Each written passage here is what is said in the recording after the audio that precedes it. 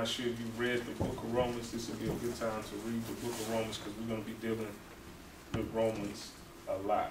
Uh, one of the first scriptures I want us to go to is Romans 8, just as uh, to show our base scriptures, Romans 8.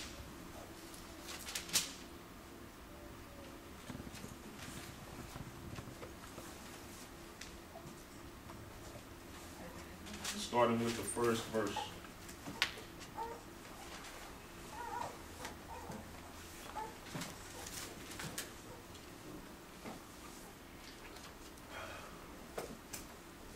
Romans 8, verse 1, it says, There is therefore now no condemnation to them which are in Christ Jesus, who walk not after the flesh, but after the Spirit. For the law of the Spirit of life in Christ Jesus has made me free from the law of sin and death.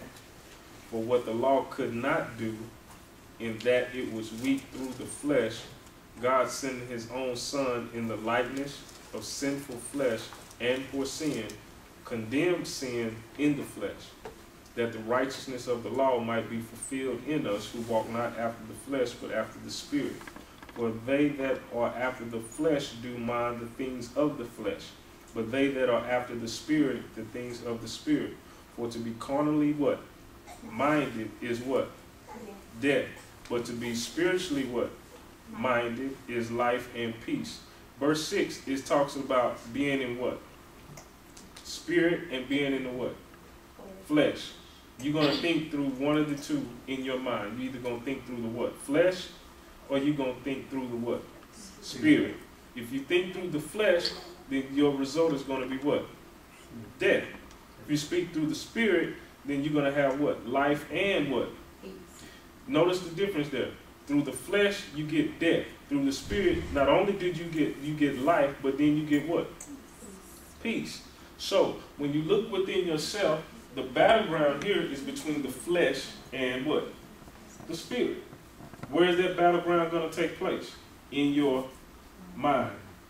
So now you have to look and choose where your thought process is going to come from. Is it going to come from through your flesh or is it going to come through your spirit?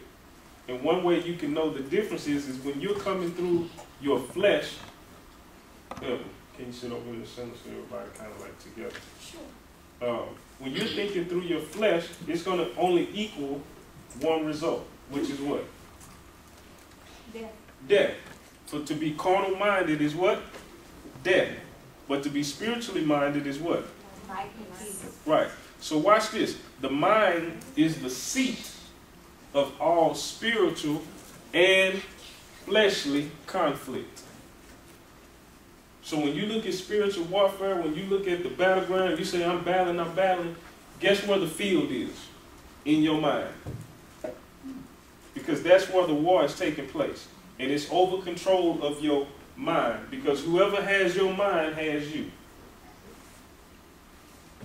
You ever been in a relationship and you were so thrown in that relationship that when that person said jump, you was jumping before they even asked you to jump because you knew they was going to ask you to jump. You knew what they wanted before they even asked for what they wanted. You would have bought what they needed before they even needed the need. Why? Because you, you, they had your mind. You ever had somebody to be able to control you? They know how to punch your buttons and all that. Why? Because they have your mind. And when somebody has your mind, guess what? They don't have to have any shackles on you.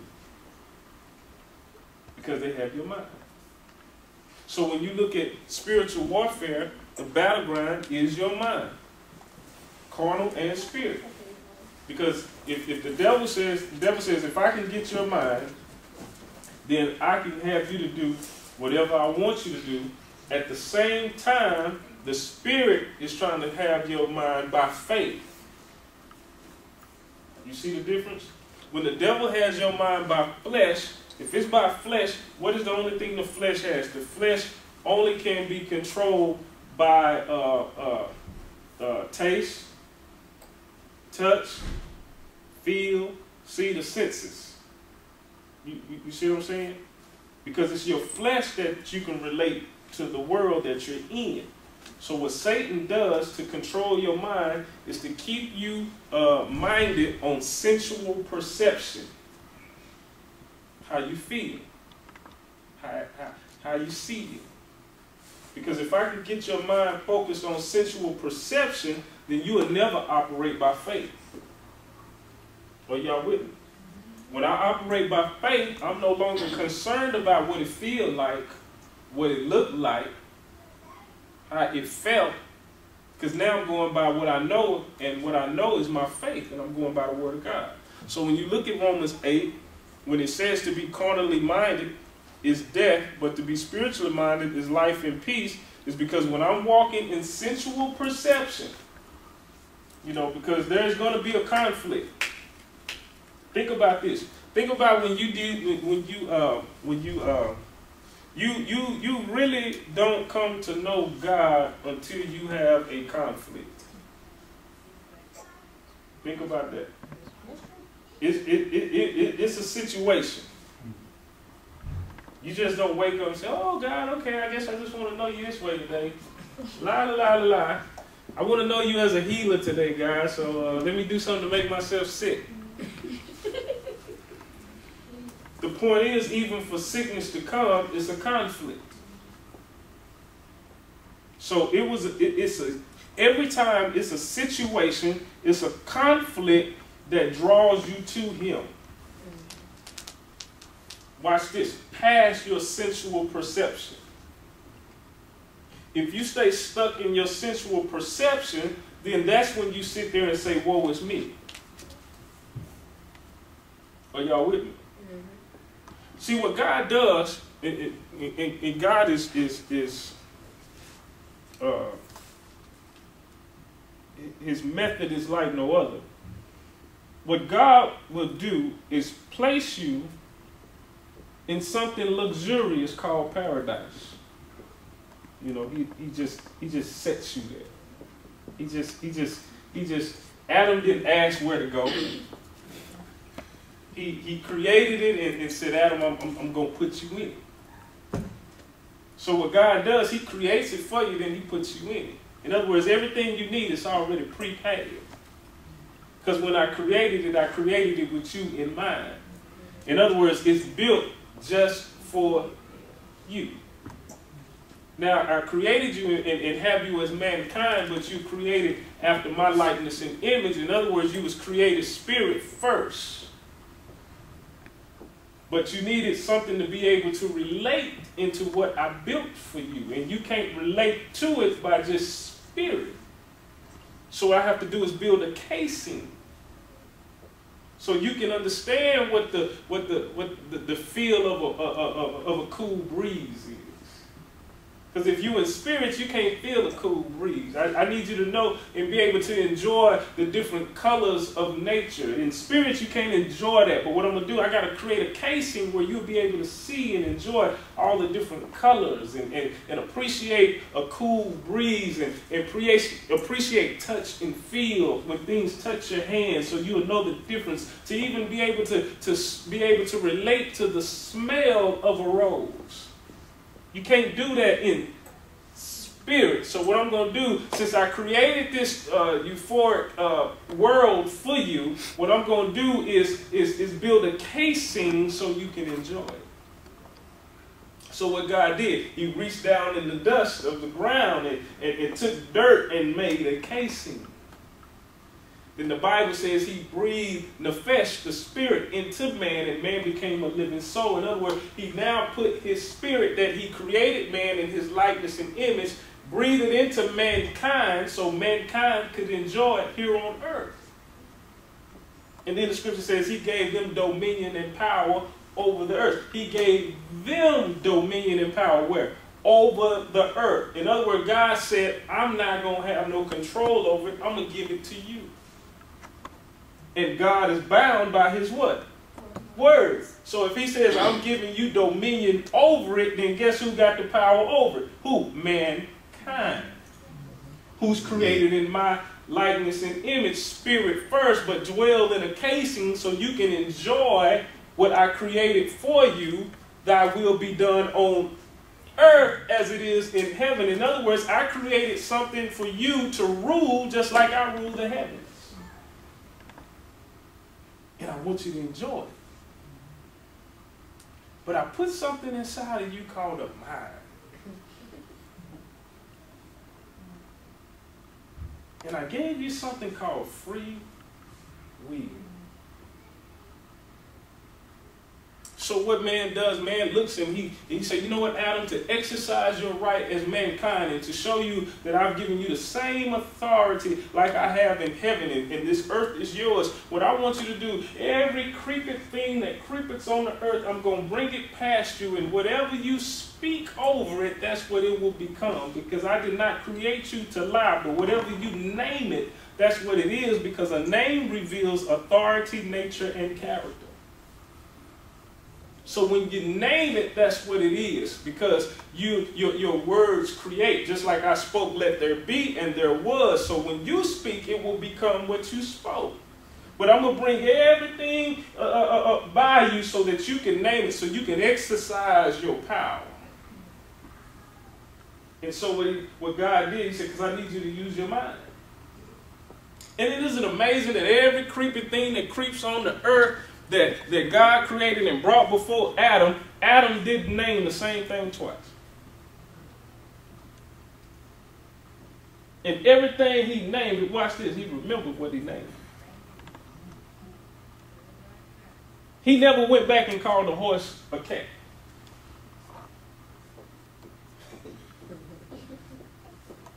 He never went back and, and, and, and called the dog uh, uh, a giraffe.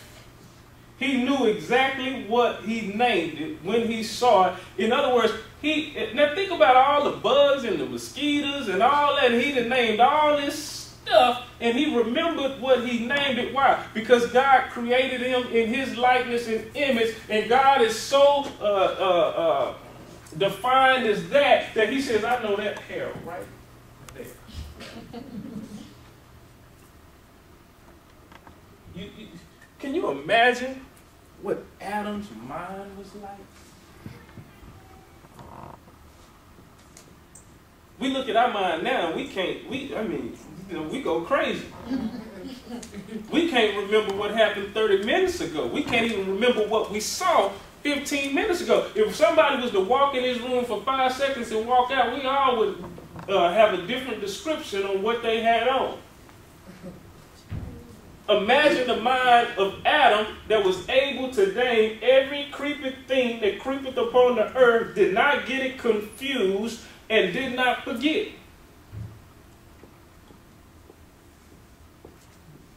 Imagine what his mind was like. Watch this. And would meet with God in the cool of the day.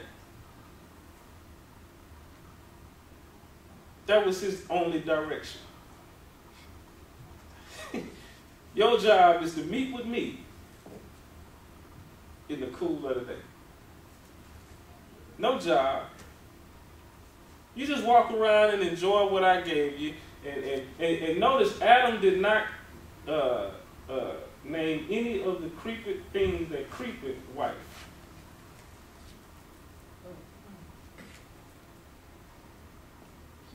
Notice that he, he, he never got anything out of line or confused. But one thing Adam noticed, he said, everything has a partner. But I don't. How can you be alone when you got God?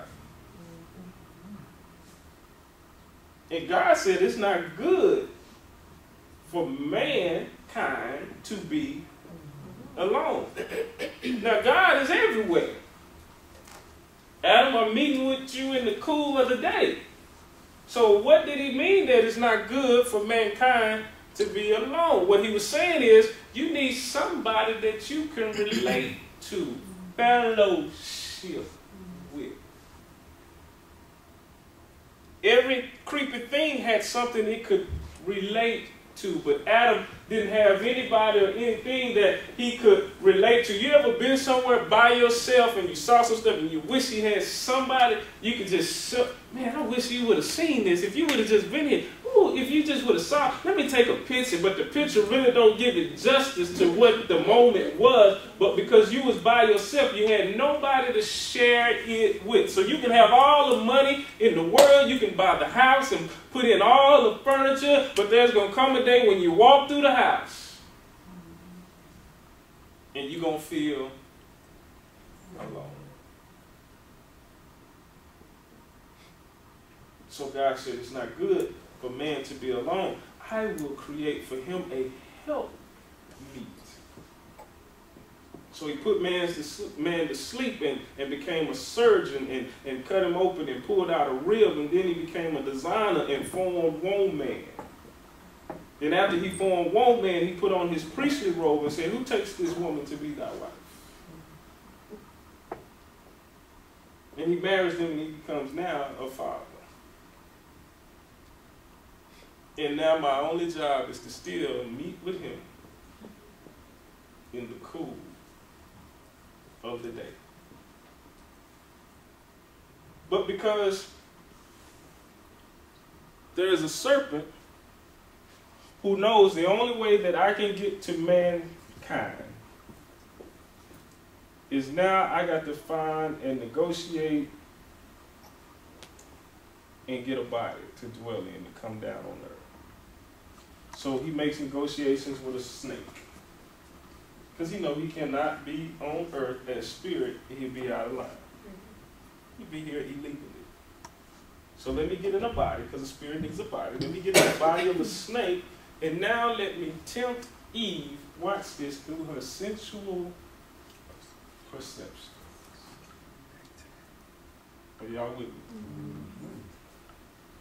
Now the tree was, God said, don't eat of it. Don't even so much touch it. Or you will what? Surely die.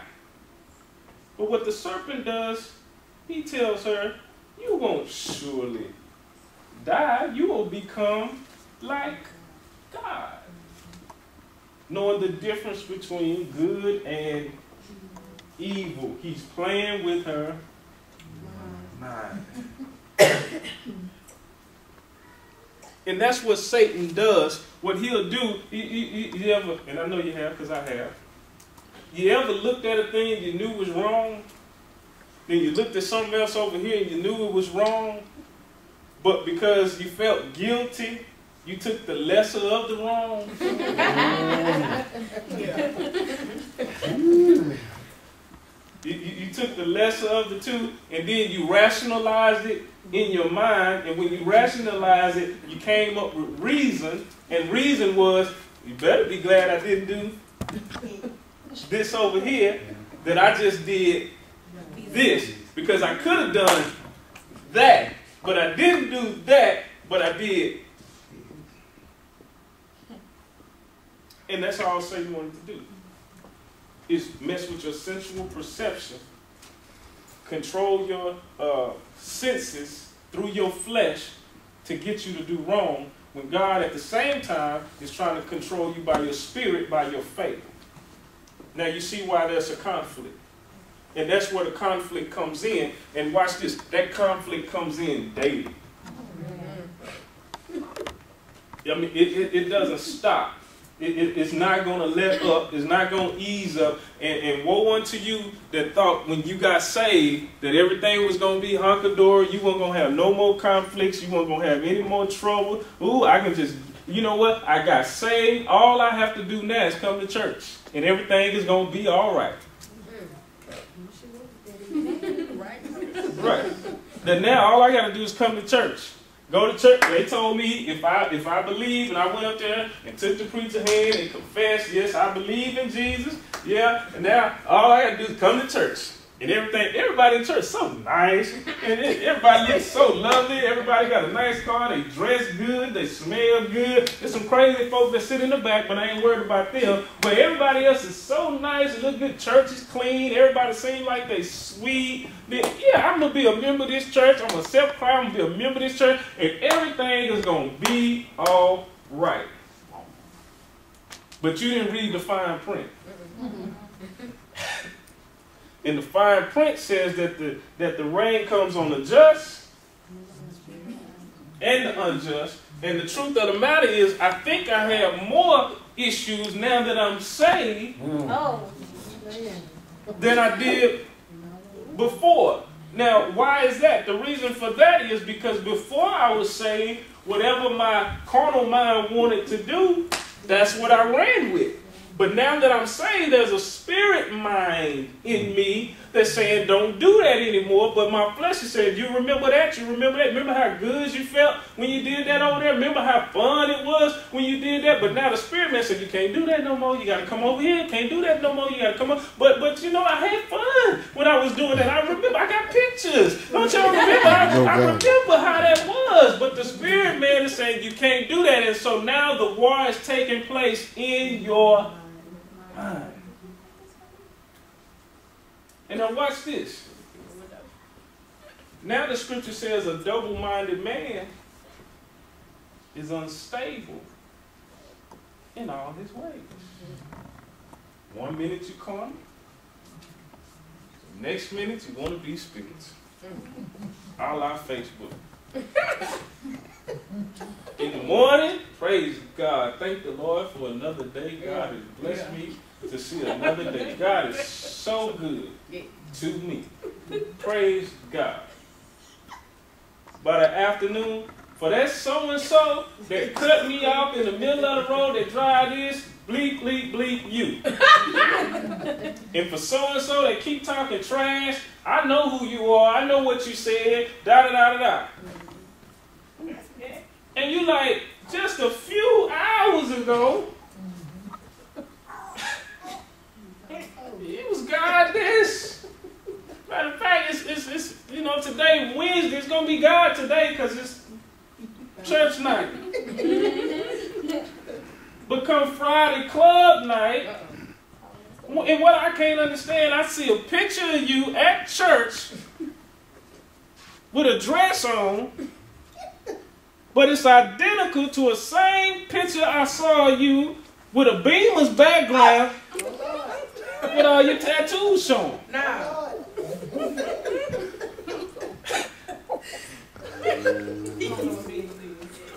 Beamer's a club. It's a club.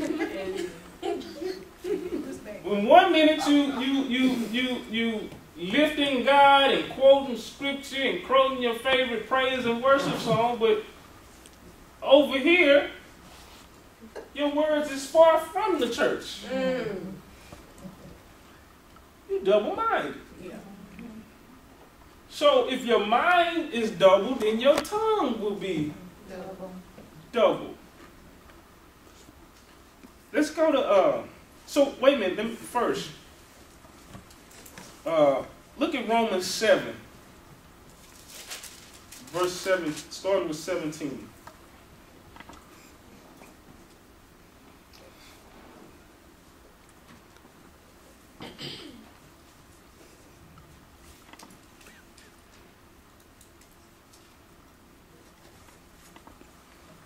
Lot of times we think we can just come to church and lay our sins at the altar and everything gonna be all right. All right, God, here my sins. You deal with it. I'm good.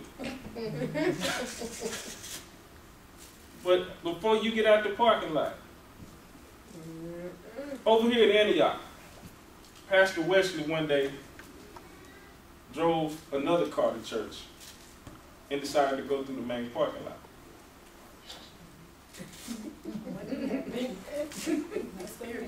If you want to find out how many people are saved at your church, drive through the parking lot. Now y'all know Antioch, nice sized church with nice sized members. He said it took him 15 minutes, uh, and I might be cutting it short, to get from that side entrance to get to his on the other side because people were driving crazy, cutting each other off, looking at each other crazy in the parking lot. So now that really made me wonder why the scripture said enter into his gates with because if you can't get it right in the parking lot, you're definitely not gonna have any praise in the court. Right. That's right. If I'm cutting people off in the parking lot, arguing in the parking lot, what makes you think from the time I park my car and I walk into the building that all of a sudden I'm going to be holy? when my mind wasn't right from the time I got on the premises. Romans 7, what I say, 17? 17? Watch what Paul says. Now then, it is no more that do it, but sin that dwells in me. You got to take ownership. For I know that in me, that is in my flesh, dwells what? No good thing. For to will is present with me, but how to perform that which is good I find not. In other words, I know it's good there. I don't know how to exercise it. Have you ever been in a situation where it's something you want to do, but you didn't know how to quite get it done? Mm-hmm. Verse 19, For the good that I would, I do not. But the evil which I would not, that's what I do. Now, if I do that I would not, it is no more that do it, but sin that dwells in me. I find then what? A law, that when I would do good, evil is present with me. Remember, he's bound by law. For I delight in the law of God after the inward man. But I see another law in my members warring against the law of my what? Mind. And bringing me into captivity to the law of sin which is in my what? Members, my flesh. O wretched man that I am, who shall deliver me from the body of this death? In other words, he's saying, I'm battling between the old covenant and the new covenant. Y'all remember we went over that? I'm battling by the law of sin, of, of the commandments that that that uh, that produces death against now the spirit and the resurrection of Christ that that that produces life. Now it's a fight. Because my mind, on one hand, is, is following after the flesh, and when I wanted to do good over here, I did wrong, and now I find a law that condemns me of what I did wrong. Now I'm guilty, and I and I deserve death. Now it's hard for me to get back right because I got this guilt hanging over my mind. You, you, you see what I'm saying? You, you do wrong, and then guilt does what? Keeps you in bondage. Why? Because I got this law hanging over me that said I did wrong. But then you got a new law as a believer in Jesus Christ that said, I paid the price for that. You are free. I'm applying grace to your life. Pick up the pieces and move on. But because of guilt, it keeps you in bondage. And where does the battleground take place? In your mind. And watch this. Guilt makes you feel condemned. You see what I'm saying? Back to the sensual perception. Where the grace of God and the Spirit of God makes you free. Are you with me? It makes you free. In other words, I can walk in that freeness. Are y'all with me? So now I don't have to go by what I'm feeling condemned. Now I can be what? Free. But it now comes to your mind. All right? Uh, so the only altar that you have is within yourself. So when you go within the altar, within yourself, that's where it has to take place. That's that's that's where it goes. In your mind. So when I go and I have to deal with, with my sins and then prayer, that's within me. It's not a physical place that I get up and say, okay, I'm going to put all my burdens right here and walk out. Uh-uh. When you walk out, it's still on your... And until you get it off your mind and, and get out of that bondage, will God be able to, to, to take control. So the mind is where we wrestle with, with, with, the, with the flesh and with the spirit. Uh, let's go to um, Romans chapter 2.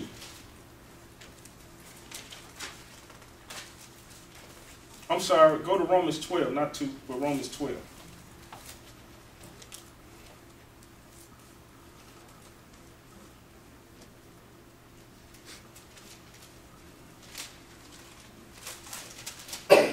Romans 12.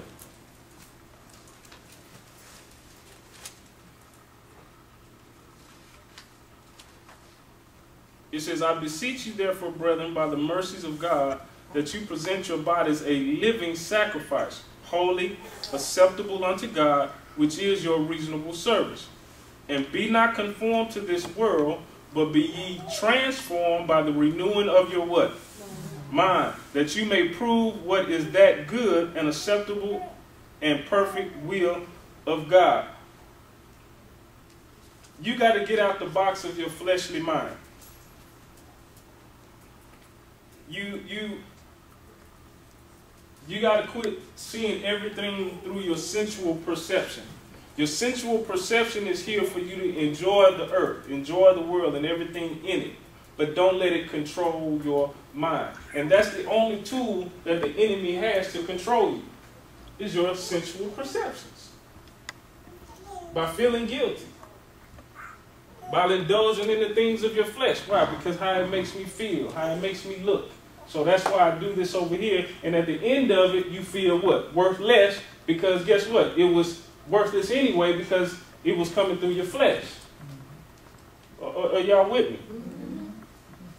You ever just been, you know, you you depressed or whatever hurt, whatever it is you want to call it, and you went on a binge or whatever it is that your flesh like, whether it's shopping, whether it's eating, whether it's sexual, whether uh, uh, it's drugs, alcohol, whatever it is, you just went and indulged in your flesh.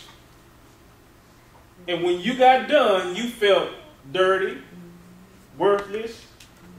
Why? Because there's no there's no benefit. You, you understand what I'm saying? There's no benefit. I mean, as soon as you got done doing whatever it was you doing, you got in the car and you just like, why did I do that? that was stupid. And now guilt has set in. Now you now you're being controlled by the guilt. And, and, and, what Paul is, is telling us to do, don't be conformed to the world because that's what the world does. The world just gives in to any and everything but be conformed by the renewing of your mind. So now that when the devil comes and the devil is saying, you know what, you got to do this, you got to do this, it's going to feel so good, it looks so good, it's going to do this. But then spirit mind says, don't do that because it's worthless. You're not going to benefit anything out of it. You're going to feel empty. You're going to feel worthless. You're going to feel less than what you are now. And, I mean, seriously, you will sit there and stress yourself out over being obedient or disobedient. Because of the war that's going on in your mind. Ain't that something? and the thing is, we will allow Satan to win that battle. Watch this. While, the, while God is sitting over here saying, I got my spirit in you. If you just walk on faith, you're going to feel better about it at the end. Come out this world. You're not, you're not, you're not of this world. I got something higher for you. But you will never experience if you watch this. You will never understand, uh, disciples, what it feels like for water to tickle the bottom of your feet as you walk on it, as your mind stay earthly minded. In order for Peter to walk on the water, he had to get out his mind. He had to extend his mind to even think that it's. Lord, if that's be you, bid me to come. And Jesus said, come. Now imagine what it had to take place in his mind Come on now. I mean, for him to say,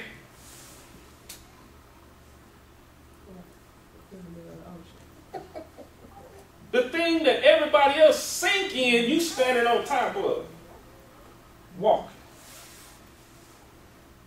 It's holding you up when you're supposed to be sinking in it. Imagine the faith that it took Lord, if that's you, bid me to come. How many times y'all have said, God, if this you talking to me, then tell me to do this? like you negotiating with God. Lord, if it's you, then I need to see this, and it got to be just like this, and it got to happen before 5 o'clock, because at 5 o'clock, then God do it, and you still sitting up. I don't know. right. Bam, to the bottom. It- it's, it's not funny, but it's real. Because see what God is saying, God is saying, I want you to experience the supernatural. But you can't do it by being carnal minded. I want a greater work you shall do, but you can't do greater when you're carnal minded. Watch this. Nobody comes to see ordinary. Nobody. Tell you what, it's just, and this, this is no offense toward Thelma, but I'm just going to do this. Thelma, I love you. You my sister. If, if we put Thelma's picture on a poster, live at concert at Liberty, Thelma. Thirty dollars a ticket. Who gonna be here? Thelma. And us that love Thelma. But you take that same poster, take Thelma's face off of it, put Alicia Keys' face on it. Who gonna be at Liberty? Everybody that can fit and sit in here for thirty dollars. You, you, you, you, you see what I'm saying? Because people want to see extraordinary. Watch this. So why do you think people don't come to church? Because they're not seeing extraordinary. They're not seeing the supernatural that we confess. They're not seeing the supernatural that's demonstrated. What they're seeing is natural. So why should I come to your church? What makes your church different from any other church? Because I can go to the mega church and it looks better, and I might see a superstar at the mega church. Mm. You know, Karen Clark may show up. Mm-hmm. You, you, you, Kurt may be there, or I got wind that Kurt goes to this church, or Cowboys go to this church, so I'm gonna go to that church to be in the mix because there's really nothing different about it, but I can be seen. But I guarantee you, if your church becomes a supernatural church, where the evidence of God is being demonstrated and, and strange things are happening that cannot be explained, oh, then people gonna come and say, what's what's what's, what's going on over? You see what I'm saying? But it starts with the. If, if, if we could come to if we can get to the parking lot and not be carnal minded, and if we can come to the court with a praise that's not carnal, and, what I mean by that is your, your praise is not contingent upon a product. Okay, let me give it to you this way. Your praise is not contingent upon uh, what he gave you. But your praise is just because of him being who he is. you know, I'm, I'm, I'm, I'm, I'm coming into the gate with thanksgiving because I'm just happy of God being who He is and me being His creation. Now I have a praise that's not connected to a blessing. It's just a praise. In other words, I'm not praising for a blessing to come down. I'm just, you know, and that's where we didn't got spoiled because praises go up. Blessings, oh, well, let me say hallelujah then. Because I'm waiting on my new car. That's what your mind and your mouth say. Broke. I ain't got no money, Tony. I'm broke. I ain't got no money. Now, if your ATM card, your debit card, your credit card had that mind, when you went to swipe it, that transaction gonna say decline. but watch this. That card has a chip in it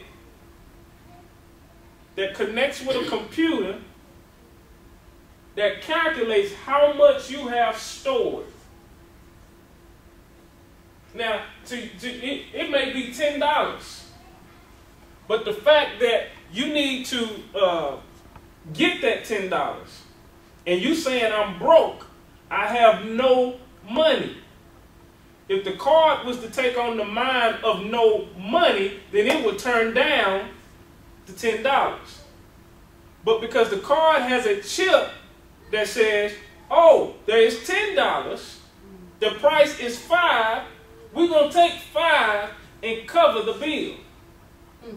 In other words, when you're walking fleshly minded, what you speak and say no to and be in condemnation to, you're going to have death on you. But when you walk in the spirit mind, now you can manifest those things that are in heaven on earth. Let thy will be done on earth as it is in heaven. Why? Because I'm not walking in an earthly mind. I'm walking in what I know. What do I know? I know he'll never leave me nor forsake me. What do I know? I know by his stripes I am healed. What do I know? I know that no weapon formed against me shall be able to prosper. So I'm not walking by what it looks like into my sensual perception. I'm walking in faith. That I'm going to step out on this boat, and as that water tickles the bottom of my feet, and the storm is still ready, I'm going to keep.